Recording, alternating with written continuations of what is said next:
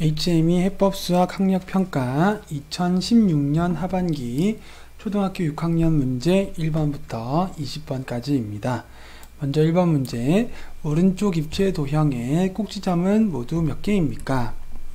자, 이것은 어, 밑면의 모양이 오각형인 오각뿔이죠. 그러면 밑에 꼭지점이 5개가 있고요. 뿔이니까 위에 하나 있어서 5 더하기 1이 되니까 모두 6개가 됩니다. 다음 2번 원기둥과 원기둥의 전개도를 보고 네모 안에 알맞은 수를 구하시오. 높이를 나타내는 거죠.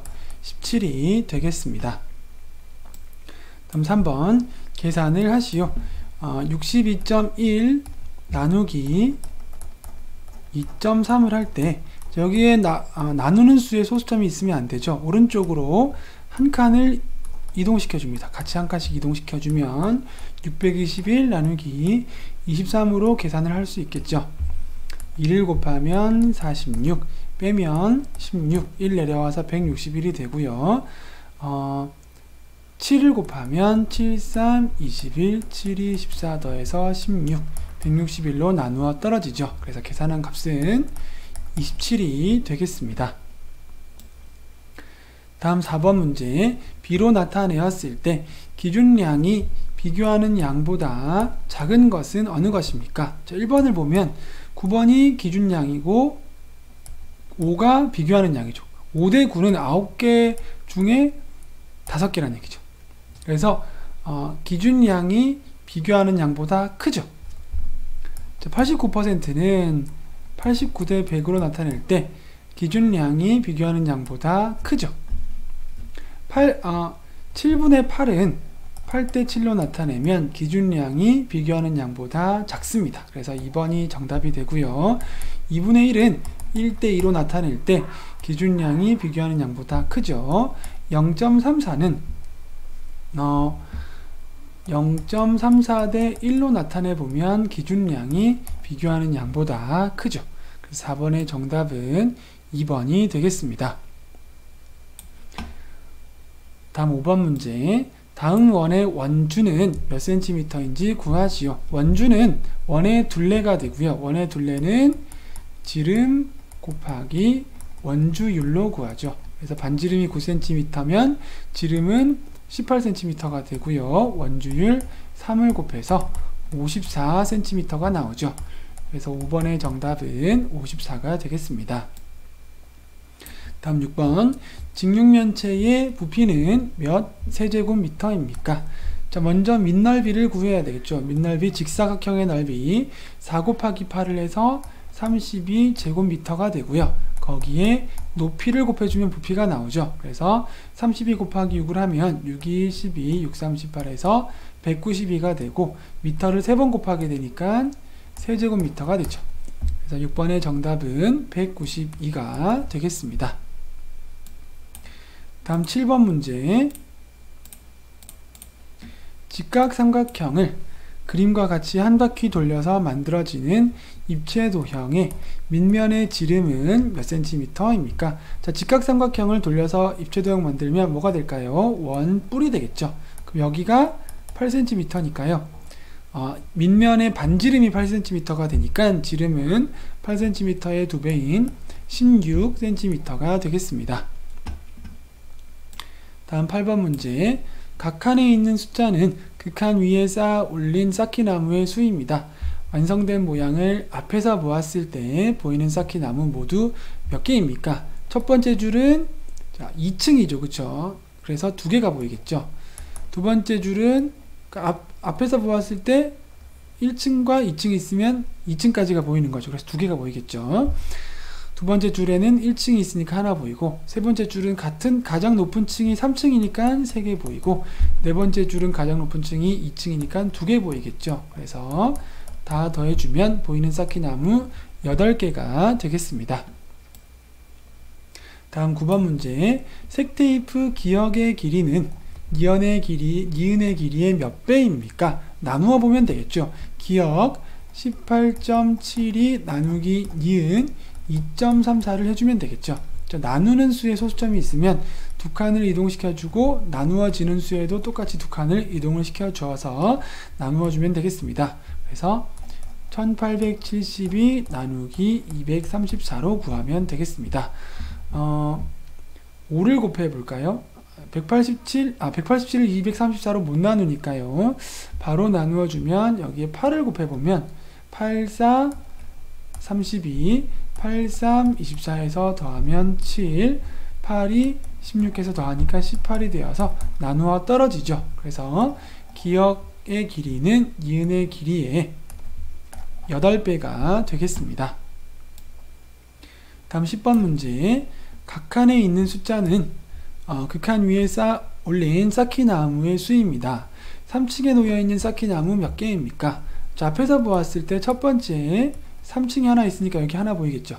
두 번째 5층 있을 때 여기 3층 보이겠죠. 그죠? 5층까지면 당연히 3층 보이겠죠.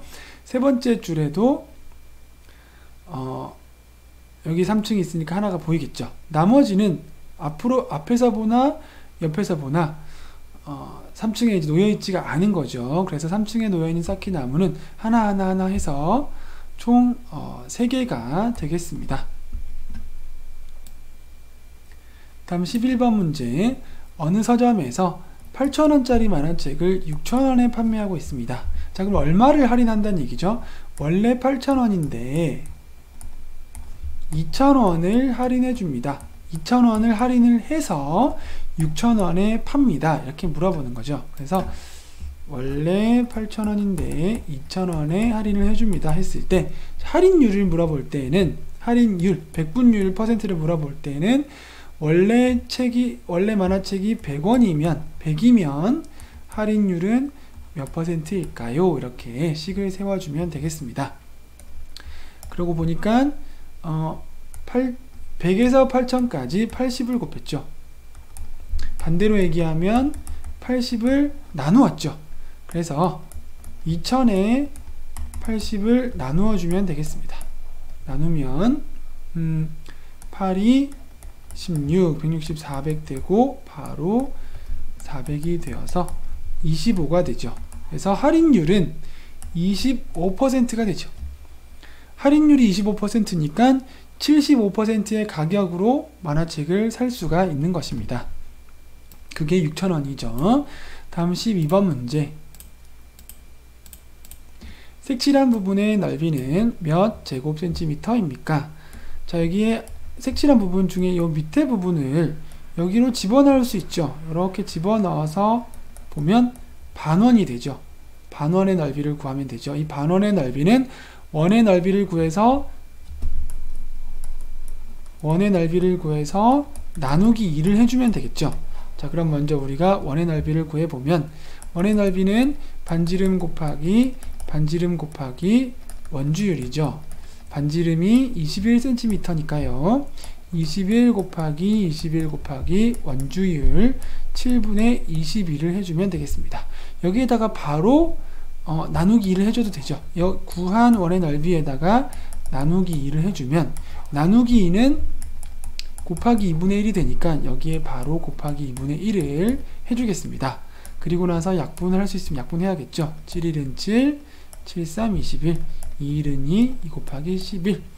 자, 그래서 어, 21 곱하기 33으로 간단하게 계산을 해주면 되겠습니다. 21 곱하기 33 하면 3, 1은 3, 3, 2, 6, 3, 1은 3, 3, 2, 6 해서 693이 나오죠. 그래서 색칠한 부분의 넓이는 693 제곱센티미터가 되겠습니다. 다음 13번 문제 주머니에 있는 구슬을 호영이와 수아가 8대3으로 남김없이 나누어 가졌습니다. 자 그럼 만약에 아, 여기 비례식으로 따지면 전체 구슬이 만약에 11개라면 호영이는 8개를 가진다는 뜻이죠. 자 근데 호영이가 가진 게 64개면 원래 있던 구슬은 몇 개가 될까요? 전체가 11개면 호영이는 8개고 전체가 네모개면 호영이는 64개입니다. 이렇게 비례식을 세워서 구할 수가 있겠습니다. 여기 보면 8 곱하기 8이죠. 여기에도 11 곱하기 8을 해주면 되니까요. 88이 나오죠. 그래서 13번의 정답은 88개가 됩니다. 구슬이 총 88개가 있으면 8대3으로 나누어 가지면 호영이는 64개를 나누어 가지게 됩니다. 다음 14번 문제. 다음 원기둥의 건널비는 624 제곱센티미터입니다. 이 원기둥의 높이는 몇 센티미터일까요? 자, 전개도를 그려서 풀어보겠습니다. 자, 여기에 높이를 모르니까 네모라고 하고요. 반지름은 8cm죠. 자, 그럼 먼저 원의 넓이를 먼저 구해볼까요? 원의 넓이는 어, 반지름 곱하기 반지름 곱하기 원주율이죠. 그래서 64 곱하기 3을 하면 되죠. 3, 4, 12, 3, 6, 18이 되어서 192가 되죠. 자, 위의 원 넓이 192, 밑에 원, 원 넓이도 192. 자, 그리, 그러면 624에서 요 두 개 더하면 얼마가 되죠? 어, 384가 되죠. 624에서 384를 빼면 옆면의 넓이가 나오겠죠. 그러면 이 값은 0, 4, 2가 되죠. 어, 240cm, 240 제곱 센티미터라는 얘기죠. 옆면의 넓이는요. 자, 이때 이 옆면의 가로는 어떻게 구하죠? 가로는 원의 둘레가 가로가 되죠. 원의 둘레를 구해보면 원의 둘레는 지름 곱하기 원주율이죠. 지름 16 곱하기 원주율 3을 해주면 48이 나오죠. 그래서 옆면의 가로의 길이는 48이 됩니다. 자, 그래서 옆면의 넓이 가로 곱하기 세로 네모 곱하기 48을 해서 넓이 192가 아 192가 아니죠. 240이 나오면 되겠습니다. 자 그러면은 네모는 어떻게 구할까요? 네모는 아, 240 나누기 48을 해서 구할 수가 있겠습니다. 240 나누기 48을 하면 5를 곱하면 되겠죠. 58, 40, 5, 4, 20 해서 24 되어서 나누어 떨어지죠. 그래서 네모는 5가 되고요. 여기는 5가 되어서 원기둥의 높이 5cm가 되겠습니다. 다음 15번 문제 왕릉은 왕이 묻혀있는 무덤을 말합니다. 다음은 연경이가 태종무열 왕릉을 보고 쌓기나무로 왕릉 모양을 만든 것입니다. 각 층이 직육면체 모양이 되도록 쌓았다면 사용한 쌓기나무 모두 몇 개일까요? 보니까 1층, 2층, 3층인데 직육면체로 만들었죠. 1층은 가로 5개, 세로 5개, 5 곱하기 5에서 25개를 사용을 했고요. 2층은 가로 3개, 세로 3개, 3 곱하기 3 해서 총 9개의 쌓기 나무를 사용해서 만들었죠. 3층에는 1개를 사용했습니다. 그래서 모두 몇 개를 사용했나요? 35개의 쌓기 나무를 사용해서 만들었습니다. 다음 16번 문제 그림과 같은 원기둥 모양의 롤러가 있습니다. 이 롤러에 페인트를 묻혀서 평평한 바닥에 한 방향으로 한 바퀴 굴렸습니다. 롤러가 지나간 부분에 모두 페인트가 묻었다면 페인트가 묻은 부분의 넓이는 몇 제곱센티미터입니까? 지 원기둥의 전개도를 그려보면 이렇게 그려질 수가 있고요. 이 롤러를 한 바퀴 굴렸다는 것은 굴려서 페인트를 칠했다는 것은 요 옆면의 넓이만큼 페인트가 칠해졌다는 얘기입니다. 그래서 옆면의 넓이를 구하면 되는 문제죠. 요 가로의 길이는 14가 되고요. 요 세로의 길이를 구해야 되는데 세로의 길이는 원의 둘레를 구하면 되죠. 반지름이 2.5니까요. 원의 둘레는 지름 5cm 곱하기 원주율 7분의 22로 구하면 되겠습니다. 그러면 이것은 분모는 7이 되고 분자는 5 곱하기 22를 하면 110이죠. 그죠? 7분의 110이 원의 둘레가 되죠. 7분의 110cm죠. 자, 이제 옆면의 넓이는 가로 곱하기 세로로 구하면 되겠죠. 가로 14 곱하기 세로 7분의 110으로 구하면 넓이가 나오겠습니다. 약분을 해보면 7 곱하기 1, 7 곱하기가 되어서 어, 분자끼리 곱해서 2 곱하기 110 하면 220이 나오죠. 그래서 16번의 정답은 220 제곱 센티미터가 되겠습니다. 다음 17번 문제 다음에 쌀과 보리를 모두 섞어서 한 봉지에 1과 8분의 7kg씩 담아 팔려고 합니다. 쌀과 보리를 담은 봉지 몇 봉지까지 팔 수 있습니까? 자, 섞는다는 뜻은 뭐죠? 더한다는 뜻이죠. 쌀과 보리를 더해 보겠습니다. 9와 4분의 3과 6과 2분의 1을 먼저 더해 봐야 되겠죠. 9와 4분의 3 더하기 6과 2분의 1 그럼 앞에 수를 먼저 더하면 15가 되고요. 그 다음에 4분의 3과 2분의 1을 더하는데 통분을 해서 계산을 해야 되겠죠. 어, 4와 2의 최소 공부의 수인 4로 통분을 해보면 15는 그대로 있고 4분의 3 있고 2분의 1에는 분모분자의 20 곱해서 4분의 3으로 나타낼 수가 있겠죠. 4분의 2로 나타낼 수가 있겠죠. 그래서 15 더하기 4분의 3 더하기 4분의 2를 하니까 15와 4분의 5가 되고 이것은 16과 4분의 1이 되겠죠. 자, 쌀과 보리를 섞었더니 16과 4분의 1이 되었습니다. 자, 이것을 16과 4분의 1을 한 봉지에 1과 8분의 7kg씩 나, 담아 판다고 하니까 1과 8분의 7로 나누어 주면 몇 봉지를 나눌 수 있는지 답이 나오겠죠. 자, 그러면 이 계산을 위해서 우리가 가분수로 바꾸고 계산을 해보겠습니다. 그러면 4분의 65가 되고요. 나누기 8분의 15가 되죠. 그 다음에 곱셈식으로 바꾸어 보면 4분의 65 곱하기 15분의 8이 되죠. 약분을 해보면 어, 4 곱하기 1, 4 곱하기 2, 5 곱하기 3, 5 곱하기 어, 5일은 5, 5, 35 이렇게 되죠. 더 이상 약분이 안 되죠. 3분의 어, 13 곱하기 분자끼리 계산하면 26이 되고요. 대분수로 나타내면 3, 6, 18 6과 3분의 아니죠. 3, 8, 24 8과 3분의 2가 되죠.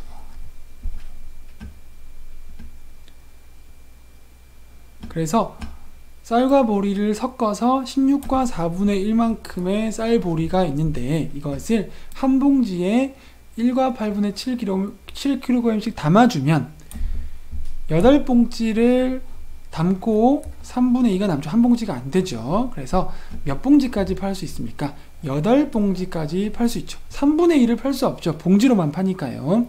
더 있으면 9봉지를 팔 수 있겠지만 일단 8봉지 팔고 3분의 2는 남겨놔야 되겠죠. 그래서 17번의 정답은 8이 되겠습니다. 다음 18번 문제 다음과 같은 쌓기나무 모양의 쌓기나무를 더 쌓아서 정육면체를 만들려고 합니다. 쌓기나무는 적어도 몇 개 더 필요합니까? 일단 지금 쌓기나무가 몇 개가 사용되었는지를 보면 1층에는 6개 사용되었죠. 2층에는 3개 사용되었죠. 3층에는 1개 사용되었습니다. 그래서 쌓기나무가 지금 사용된 것은 10개가 사용이 되었죠. 10개가 사용이 되었고 이제 이것을 가지고 정육면체를 만든다고 합니다. 그럼 밑면을 보니까 제일 긴 게 3칸이죠. 그러면 옆으로도 3칸을 대야지 정육면체가 되는 거죠. 길이가 똑같아야 되니까요. 그래서 가로 3칸, 세로 3칸이 되어야 됩니다. 그래서 1층에 가로 3칸, 세로 3칸이니까 3, 3은 9, 9개의 쌓기나무가 필요하죠. 정육면체면 위로도 3층이죠. 그래서 2층에 9개, 3층에도 9개가 되면 정육면체가 되죠. 그래서 쌓기나무가 모두 몇 개 필요한가요? 9, 3, 27개가 필요하죠. 27개가 필요한데 지금 쌓기나무를 만드는데 10개를 썼으니까 몇 개가 더 필요할까요? 17개가 더 필요하죠. 다음 19번 문제 원기둥을 비스듬하게 반으로 자른 것입니다. 이 입체 도형의 부피는 몇 세제곱 센티미터일까요? 자, 비스듬하게 반으로 잘랐다고 하니까 반으로 자르기 전의 모양을 우리가 한번 그려볼까요? 반으로 자르기 전에는 이렇게 됐겠죠. 그래서 자르기 전에 어, 원기둥의 부피를 구해서 반으로 나누어 주면 되겠죠. 아, 제가 잘못 그렸네요. 붙이면 되는 게 아니라 여기 더 여기 5cm가 더 띄워져야 되죠. 띄워주고 이렇게 해서 붙이면 11cm. 반으로 잘랐으니까 서로 도형 두 개가 똑같은 도형 두 개를 붙여서 하나로 만들 수가 있겠죠. 자, 이 원기둥의 부피를 구해 보면 자, 먼저 밑넓이, 원의 넓이를 구해줘야 되겠죠.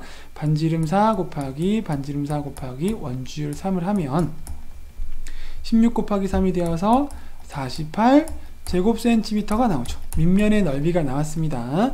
여기에 48의 원기둥의 높이 이만큼이죠. 16을 곱해주면 되죠. 48 곱하기 16을 해주면 68, 48, 64, 24가 되어서 더하면 28, 18은 8, 14는 4 하면 8, 16, 3과 4를 더해서 7이 되어서 768 세제곱센티미터가 나오죠. 이것은 반으로 자르기 전에 원기둥의 부피죠. 자, 이제 반으로 자른 부피는 나누기 2를 해주면 되죠. 768 나누기 2를 해주면 2, 3은 6, 16, 8, 16, 8, 2, 4, 8, 0 이렇게 되죠.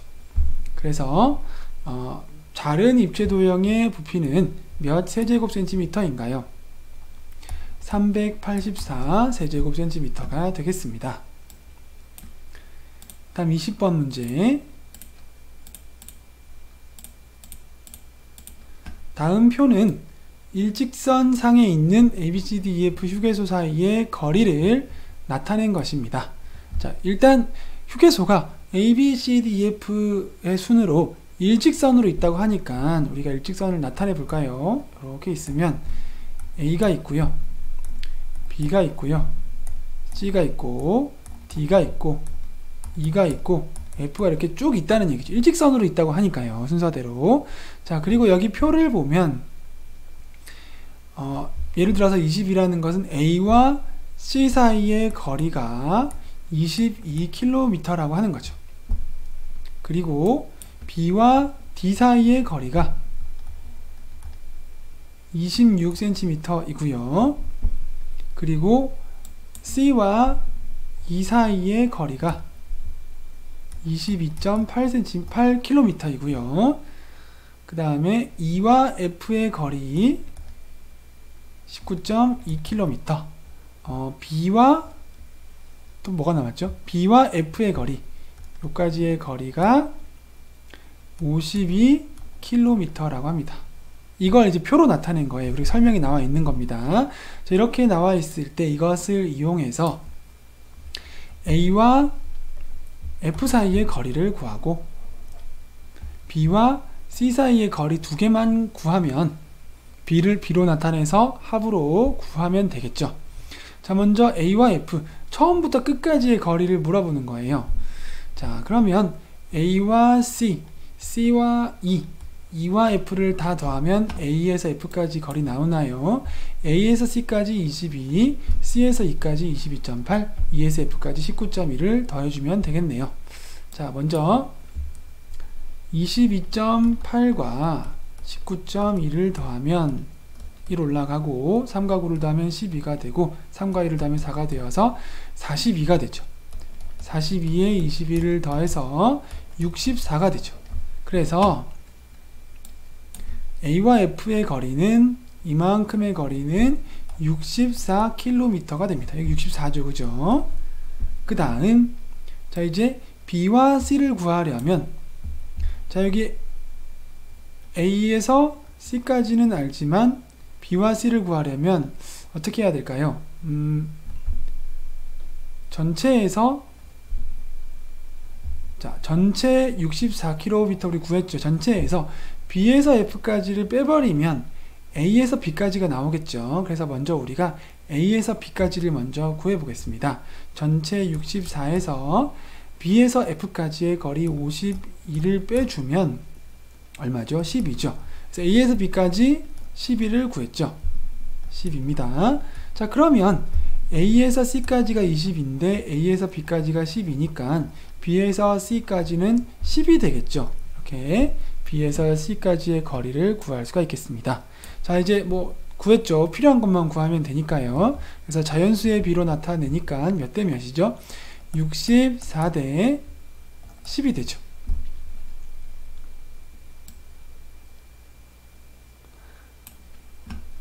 자, 근데 여기서 그대로 이렇게 구해놓고 나서 기억 더하기 니은에서 74라고 적으면 틀리죠. 왜냐하면 이 조건이 공약수가 1분이란 얘기죠. 기억과 니은의 공약수는 1분입니다. 그 말은 뭐냐 하면 더 이상 나누어지지 않을 때까지 나누어 주란 얘기죠. 64대 10을 더 이상 나누어지지 않을 때까지 나누어 줘야 됩니다. 2로 나누면 32, 2로 나누면 5, 32대 5로 표현을 해야 되죠. 더 이상은 이제 나누어지지 않으니까 공통으로 나누어지지 않는다는 것은 공통이 되는 약수가 1밖에 없다는 얘기죠. 자 이제 기억된 이은이 32대 5가 되었을 때 기억과 니은의 합 어, 기억 더하기 니은 얼마가 될까요? 37이 어, 되겠습니다.